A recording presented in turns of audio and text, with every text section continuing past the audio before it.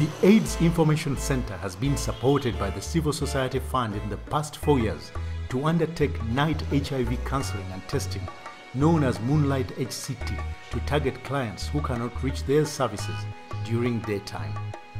Moonlight activities are basically targeting people who cannot access the services during daytime due to the nature of their jobs or because of fear the to be stigmatized in the community. We want to target them to get to know their sero status because we believe that knowing with sero status is the first step in the prevention of HIV AIDS spread. So we will try to, uh, to take services closer to the people and within the convenient time that they have around. And uh, as we, we, um, we organize our moonlights, we have educational, uh, HIV educational talks to give them information that is uh, uh, can be used to avert or to, to prevent the spread of HIV AIDS. As the sun sets in the distant horizon, long distance truck drivers begin arriving in Mubende town for the night stop. At the same time, the AIDS Information Center mobile van arrives and sets up for the Moonlight HIV counseling and testing. It doesn't take long before clients begin arriving. On the Moonlight, we do um, we do uh, we, we mobilize uh, our clients um, because they are, they are in different they are different areas of work, and then the other thing we do HCT in this Moonlight. Uh, we test people for HIV. Um, we do the counseling. We do the referral.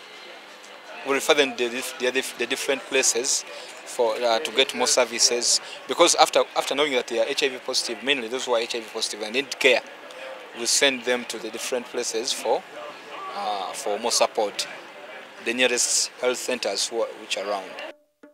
Truck drivers and commercial sex workers, who are among the most at risk population, are the main target of this Moonlight HCT, which also benefits other groups at night, including vendors and security personnel.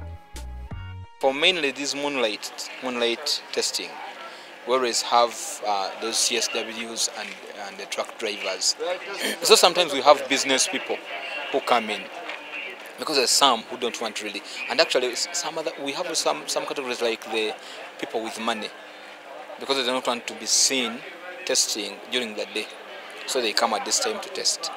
They are very happy. They have welcomed actually the idea, and actually they are the reason why we come back because uh, sometimes when we come, we, go to a place and uh, and they come and there are very many. We leave them and go back to our places. Actually, we come back to finish up that the, the numbers that have come. But the, when we come back, we shall find even more other people who have come because they inform other people who have not come who, who, had not, who had not known about this exercise. Many other clients who are busy during the day, like this couple, have found the Moonlight HCT very convenient. kituyamba okutyaba amaaso g'abantu kale kutulaba nga twekebeza kawakasimu bamama amanyi nga twafa dda. Eh, kati eyo kiro kituyamba okujja nekitatwala ngambo nyingi mu bantu. Kyenkwogerako lwakuba abantu amaaso gabeera mangi nnyo kati tewali yetulabye Civil Society Fund has been very, very useful in this, in that there are many places we could not reach because of lack of funds. But when they funded us, we have reached areas that we, have, we had never gone to. Uh, there are many risky areas like the islands. They are very hard to reach, and the people there live a very risky life.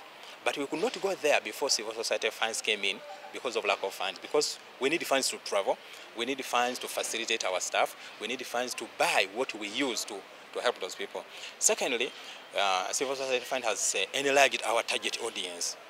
We used to have general HCTs, but now we target those most risky um, groups like the commercial sex workers, uh, we have uh, the fishing flocks, we have people uh, in prison, the prisoners, um, we have long distance truck drivers, all those we could not attain, we could not serve them before we received the civil society funds.